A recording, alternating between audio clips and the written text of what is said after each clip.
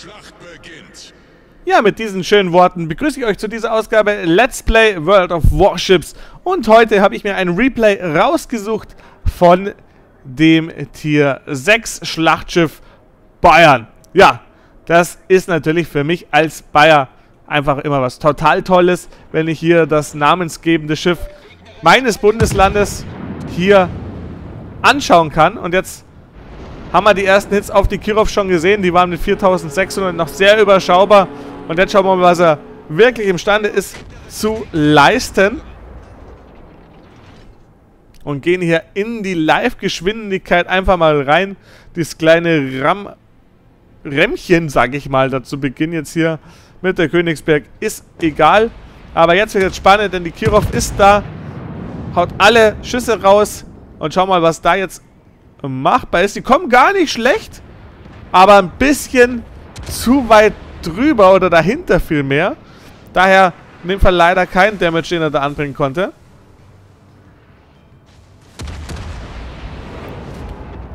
Aber er kriegt gleich nochmal die Nachschussmöglichkeit und 10 Kilometer ist natürlich eine geniale Distanz, auf die macht es richtig Spaß.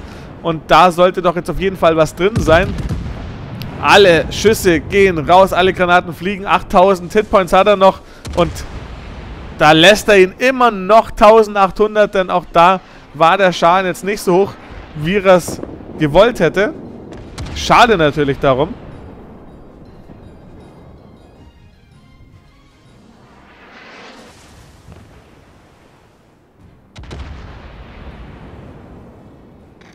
Aber hier jetzt hier mit der Minikase das nächste Ding gleich mit 7,6 Kilometer.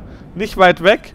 Und leider mit der Streuung da auch nur einen anbringen können. Deswegen auch nur dreieinhalbtausend Schaden oder 3,2 viel mehr. Aber die sekundären, die sind jetzt schon schön am Ballern.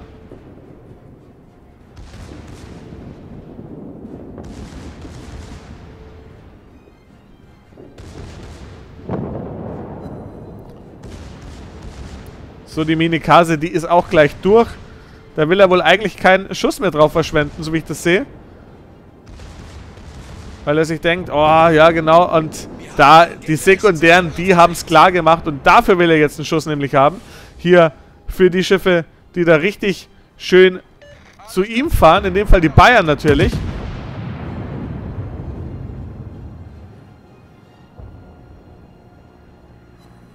Und aber auch hier wieder keine Zitadelle leider.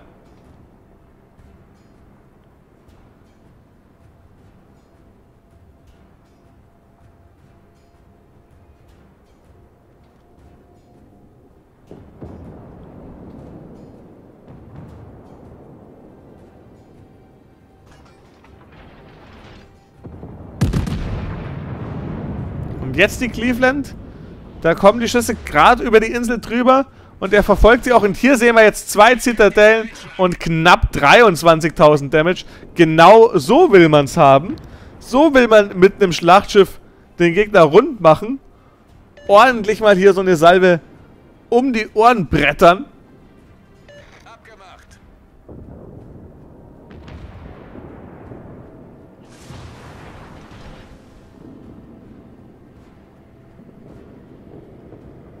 Die Emerald, die kommt da daher, knickt jetzt ein. Damit ergibt sich hier für ihn die Möglichkeit, da auch nochmal ein paar Hits anzubringen. Leider nur 4300 Schaden. Keine Zitadelle natürlich an der Stelle.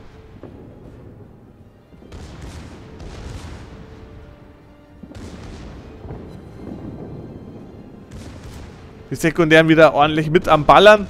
Und jetzt vielleicht die Cleveland als nächstes dann da aus dem Spiel befördern.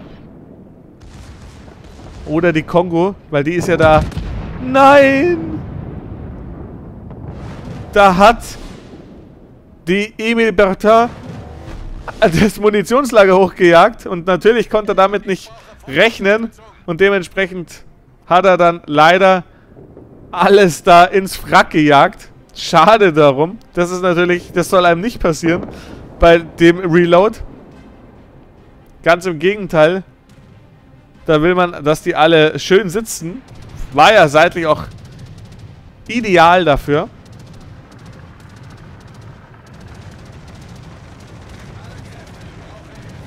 Und hier muss jetzt aufpassen, weil da geht ihn jetzt nämlich der Flugzeugträger an. Hat hier auch einen guten Fächer eigentlich gesetzt. Da werden auf jeden Fall zwei Torpedos treffen. Der erste schlägt einen für 7000 und dann nochmal einer für 7000. Also 14.000 Damage, die das gemacht haben. Und hier kommen jetzt auch nochmal weitere Bomber an. Also jetzt hat er alles da in der Luft gegen sich, was man so haben kann.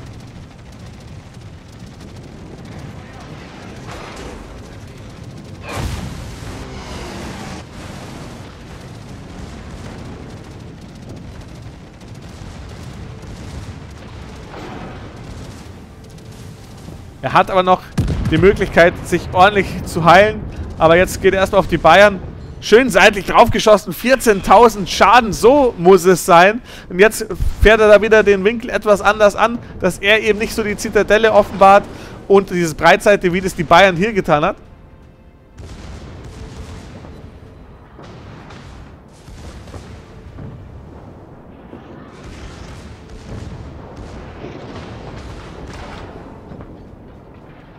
Und jetzt mit der nächsten Salve, da könnte es vielleicht schon klar machen mit ein bisschen Glück.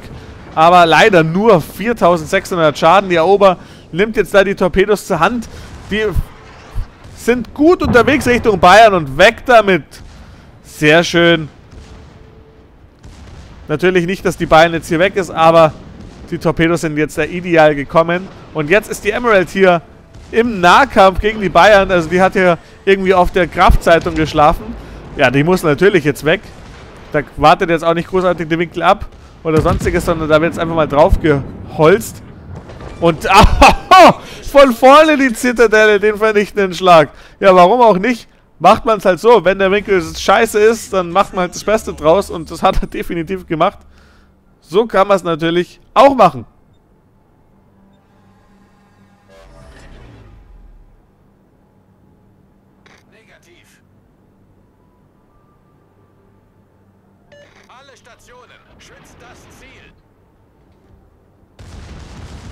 Oh, oh, oh. Emil Bertin auf kurze Distanz. Oh, wieder eine Zitadelle, wieder 16.000 Damage. Jetzt muss er natürlich da aber abdrehen, dass er nicht irgendwie auf einmal plötzlich ein paar Aale sich gegenüber sieht. Zwei Caps von beiden eingenommen. Da sind auch schon die besagten Aale. Aber der zweite Nahkampfexperte, den er sich hier in der Runde sichern kann, natürlich von den Schiffen her, liegt sein Team verdammt gut in Führung. Sie haben erst vier Schiffe verloren. Der Gegner schon acht. Also das läuft natürlich ideal für ihn und sein Team. Also da muss man sagen, besser geht's gar nicht. Wieder die nächsten Flugzeuge. Die werden ihn anfliegen, weil er ist ja das einzige Schiff weit und breit überhaupt. Also klar, da weiß er jetzt schon, aber wenigstens seine Flak ist da gut am Arbeiten. Das heißt, er kann ja schon den einen oder anderen Torpedo sich sozusagen vom Hals schaffen. Jetzt überfliegt er ihn hier auch gerade. Oh. Und jetzt muss er natürlich auf die Independent schießen. Jetzt hat er schon fast alle Flugzeuge bis auf zwei runtergeholt. Und ja, da trifft einer, aber eben nicht beide. Auch wieder für die ominösen 7000 Damage.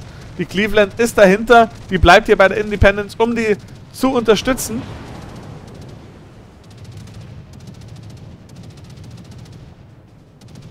Und jetzt muss er natürlich erstmal die Cleveland rausnehmen.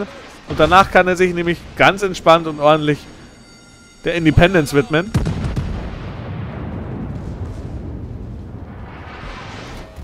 So, der war schön. Dreieinhalbtausend Schaden. Aber da muss er noch einmal nachsetzen. Kann sich auch noch heilen. Sollte auch mal langsam machen. Zwei Brandherde sind nicht schön. Macht er jetzt auch. Und jetzt geht es da der Independence an den Kragen.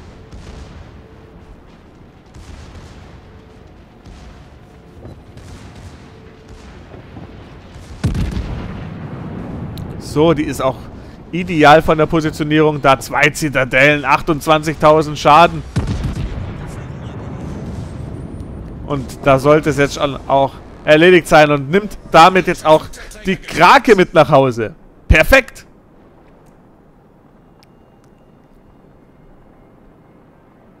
So, jetzt gibt es hier noch einen einzigen Zerstörer. Der war zuletzt auf dem B-Spot zu sehen. Aber das sollte ein ganz entspannter Sieg durch Tickets werden. Also da wüsste ich jetzt hier nicht, wo hier irgendwie noch der Gegner zurückkommen könnte.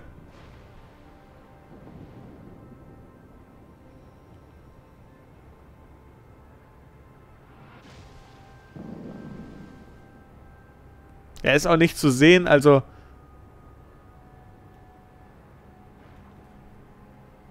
Da muss man sagen, keine Ahnung, was er da noch entgegensetzen will.